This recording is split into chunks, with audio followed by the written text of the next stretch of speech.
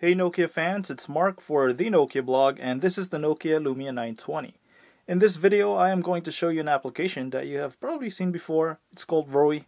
It's one of the most popular Twitter applications for Windows Phone and uh, they just updated to version 3.4. So here's the settings about version 3.4. So what's new for Rowi version 3.4? Well, one of the major things here is that the timeline now automatically refreshes you don't need to click on a refresh button. Uh, you notice that the timeline will automatically show new tweets. Uh, that also happens for mentions. And um, what's also new is that you get uh, notifications on the live tiles, and notifications is a big thing for this new version of uh, because now the notifications come instantly. You don't need to wait one minute, two minutes, or even five minutes to get your notifications. Um, so those are basically the two major new features for Rowi version 3.4. However, I did notice that there are still some errors and bugs in this version. As you noticed, that orange thing that popped up on top of my screen um, said something happened. But the good thing about this is that you could uh, send these errors to Rowi developers. So you go to settings then go to feedback, and then on top it'll say, hey, it looks like there's some debug info in the log.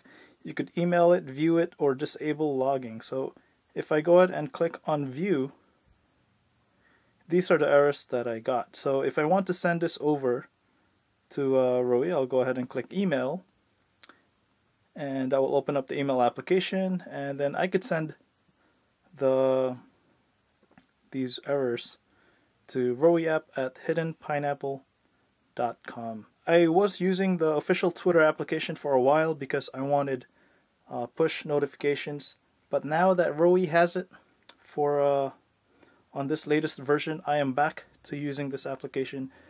Uh, I like it a lot. It's because the interface is simple, it's easy to use. If I go ahead and click on a tweet, it'll show you uh, the conversation view. It's a great Twitter application. I just hope that Rowi fixes some of these uh, bugs that I've seen, and uh, but I think they just tweeted that they noticed these bugs already, so uh, they're working on it. So I'm hoping they fix this soon, so uh, the experience will be a lot better. Still, so that's uh, Rowi version 3.40. Try it out at the Windows Phone store. I'll uh, add a QR code for this video so you could download it, scan it, and download it directly on your phone. That should be it.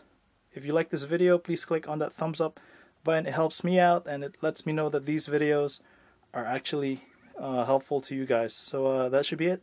I'm Mark Guim. Thanks for watching.